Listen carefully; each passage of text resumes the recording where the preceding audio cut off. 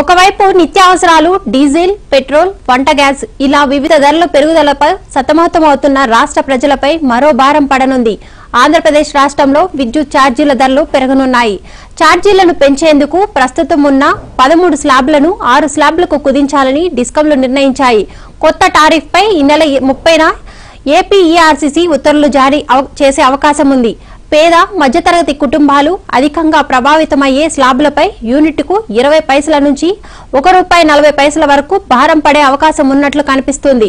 ఈ మేరకు రాష్ట్ర విద్యుత్ నియంత్రణ మండలిలో ప్రతిపాదనలు చేశాయి.